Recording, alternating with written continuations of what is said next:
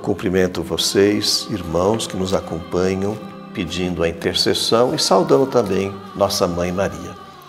O anjo do Senhor anunciou a Maria e ela concebeu do Espírito Santo. Ave Maria, cheia de graça, o Senhor é convosco.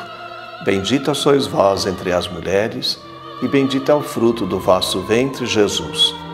Santa Maria, Mãe de Deus, rogai por nós, pecadores, agora e na hora de nossa morte. Amém. Eis aqui a serva do Senhor, faça-se em mim segundo a vossa palavra. Ave Maria, cheia de graça, o Senhor é convosco. Bendita sois vós entre as mulheres, e bendito é o fruto do vosso ventre, Jesus.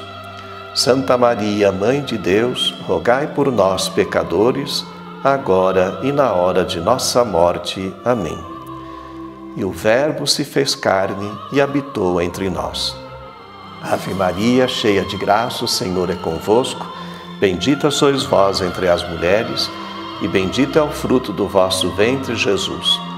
Santa Maria, Mãe de Deus, rogai por nós, pecadores, agora e na hora de nossa morte. Amém. Rogai por nós, Santa Mãe de Deus, para que sejamos dignos das promessas de Cristo. Oremos.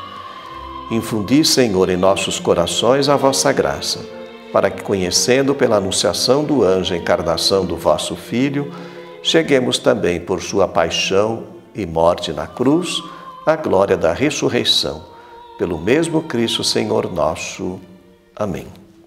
Irmãos, nós falamos que o Espírito Santo faz arder em nós o temor de Deus o zelo por Deus. Por isso que nós sempre rezamos pedindo essa presença do Divino Espírito Santo em nossas vidas, que nos conduz a Deus. Abençoai, Senhor, as nossas famílias, defendei-as de todos os perigos, dai saúde aos doentes e conforto a todos aqueles que sofrem. Abençoai a água, criatura vossa, que ela seja sinal da vossa presença, saúde para o corpo e para a alma.